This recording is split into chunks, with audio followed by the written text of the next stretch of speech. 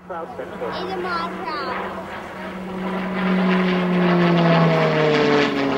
Now the aircraft away onto what we call the B-axis. And he's now positioning for a nod-eastall turn. So called because he's going to nod the nose of the aircraft left, right, and back to the left.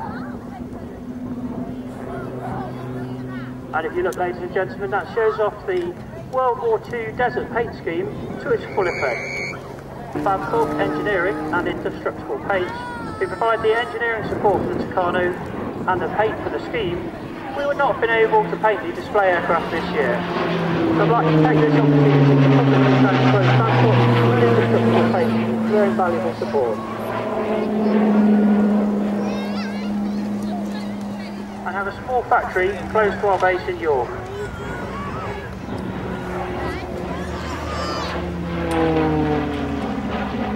Year the team have also received practical support from Breitling and Rat Race. These companies have provided watches and waterproof clothing. Based on the Embraer 312 Tucano and is the Royal Air Force's basic fast jet trainer.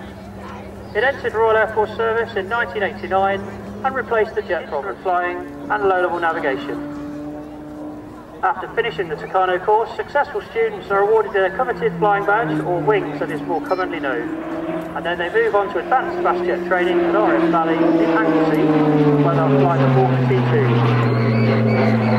Five is now positioning for a loop, followed by a quarter turn.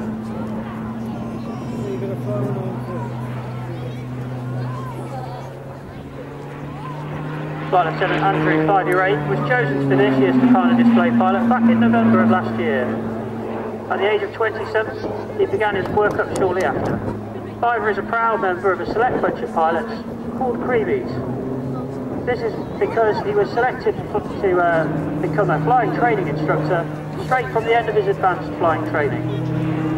The best pilots are selected for this, and he's now the above average A2 qualified flying instructor at RAF Linton on Ouse. He's practiced various formats of the display, and he's practiced over 100 times, initially starting at 1,000 feet, and he's now worked down to 500 feet, as you see in front of you now. He's allowed down to 100 feet for his first and final passage. Five, he's now flying a new maneuver for this year, the hanging stall turn. Let's see how long he can hold on to it.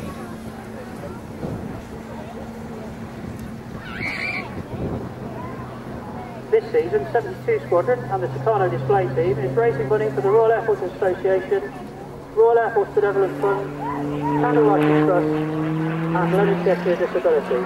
If you'd like to contribute to, to these charities in return for highly prized Tucano display goodies, we'll be delighted to see you at our gazebo aircraft away and experience the finest 2G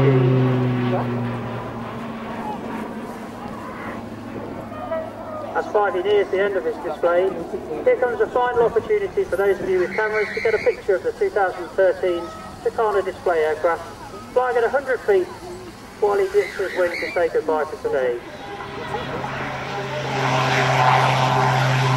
Now I see the planes are lining up on the runway and uh, they'll be starting their takeoff shortly.